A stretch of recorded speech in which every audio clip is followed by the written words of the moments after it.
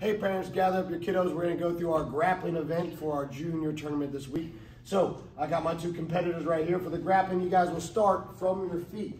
So that's the first place to score your points. If you're able to secure a takedown, you're able to knock the other guy over and get on top. If you're able to maintain that for one, two, three seconds, that's two points for your takedown. Now, Coach Gears, he needs to score a few more points, so he's gonna work his way to the mount, which means both knees are on the belly there.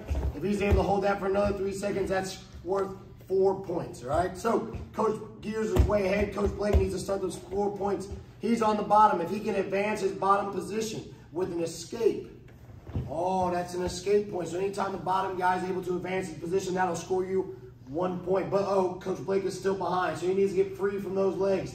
If he can get free from his legs and all the way around to the side or top, that's worth one, two, three, three points. All right, very good. So now Coach Blake's starting to zero in. He works his way to the mount, but Coach Gears rolls to his belly to try to escape, but he didn't quite make it. Now Coach Blake's looking to take the back and score a lot of points here. But remember, you have to hold your position for three seconds. So Coach Gears is able to wiggle himself free and get out.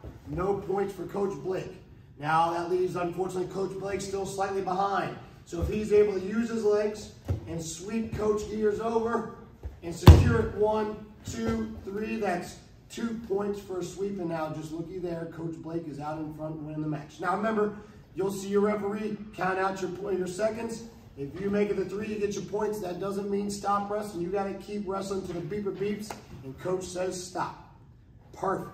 But now, if you get signed up for the submission only, or the submission events for your green belts and up, you can win by points like I just showed here, or you can win instantly by using one of your submission techniques. So if Coach Blake is behind zero to a million, but he goes for an Americana lock, he pushes Coach Gear's arm down, locks him up, and taps Coach out. Coach Blake wins the match instantly. Now that goes for any of your submissions at any point in time. So if you tap him out within the first second, match is over. If you tap him out in the last second, match is over. So for my submission guys, that's your best way to win a match there. We'll catch you guys at the tournament coming up soon.